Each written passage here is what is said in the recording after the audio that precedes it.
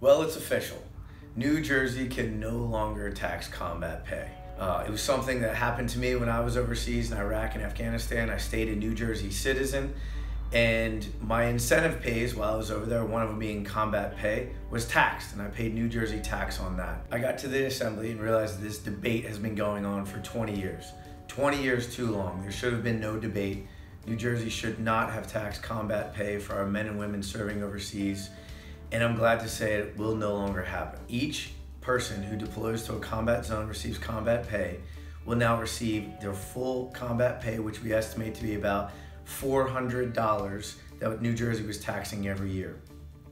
That will go directly into the pocket of a serviceman and servicewoman who is serving in a combat area wearing our nation's uniform. While Governor Murphy and I, we may disagree on things, we don't have to be disagreeable. He and I work together on this one to make sure this stain is removed from New Jersey and that we were the only state in all 50 states at the time, right now, previous to this signing, that had tax combat pay, and it is no longer. Thank you to our brave men and women serving overseas now, in the future, in the past. May God bless them, and may God continue to bless the United States of America.